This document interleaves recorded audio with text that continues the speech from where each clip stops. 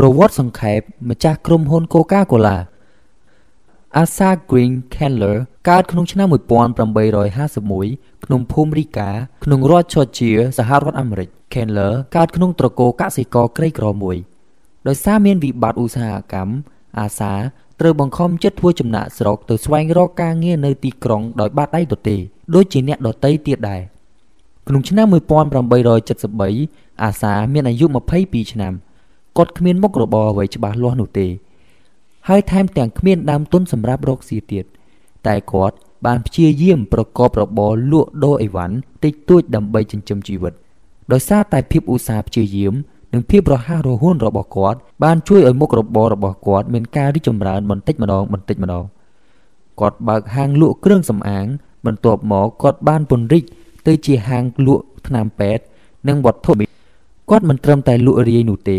គាត់បានចាប់ផ្ដើមលក់ដុំសម្រាប់ចែកចាយនៅតំបន់ដាច់ស្រយាលមួយចំនួនផងដែរពេលនោះហើយដែលគំនិតជំនួញរបស់គាត់ចាប់ផ្ដើមមានការរីកចម្រើន Asa Great Candler ក៏បានស្គាល់គ្នាជាមួយ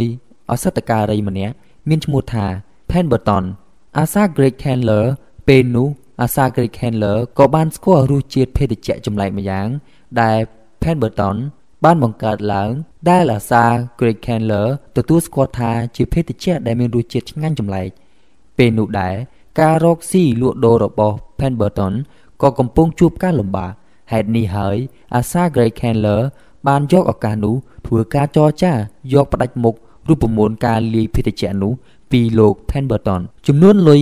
2300ដុល្លារវាមិនច្រើនទេសម្រាប់ពេលបច្ចុប្បន្ន តែក្នុងឆ្នាំ1891វាជាចំនួនមួយដែលច្រើនគួរសមពេលនោះអាសា Great Candler បានប្រម៉ែប្រមូលអស់ទ្រព្យសម្បត្តិរបស់គាត់ទាំងអស់ដើម្បីទិញរូបមន្តក្នុងការលាយភេទជ្ជៈនោះចាប់ពីពេលនោះមកអាសា Great Candler ចាប់ផ្ដើមធ្វើចំនួនជាមួយភេទជ្ជៈមួយប្រភេទដែលគេមិនសូវដែលស្គាល់ដំបូងគេគិតថា វាគ្រាន់តែជាឱសថតែប៉ុណ្ណោះតែដោយសារការព្យាយាមផ្សព្វផ្សាយនិងយុទ្ធសាស្ត្រទីផ្សារដែលប្រកបដោយប្រសិទ្ធភាព បានធ្វើឲ្យប្រជាជនជាច្រើនក្នុងតំបន់ចាប់ផ្ដើមមានចំណាប់អារម្មណ៍ជាមួយភេទជ្ជៈនេះភេទជ្ជៈនេះត្រូវបានគេស្គាល់ថាជា Coca-Cola ព្រោះវាផ្សំឡើងដោយរុក្ខជាតិកូកាដែលមានដុះក្នុងតំបន់ភាគខាងត្បូងសហរដ្ឋអាមេរិករុក្ខជាតិនោះមានសារៈប្រយោជន៍សម្រាប់ការព្យាបាលជំងឺឈឺក្បាលនិង stress ពីមួយថ្ងៃទៅមួយថ្ងៃ Coca-Cola កាន់តែមានភាពពេញនិយមជាមួយប្រជាជនអាមេរិកនិងបានរីករាលដាល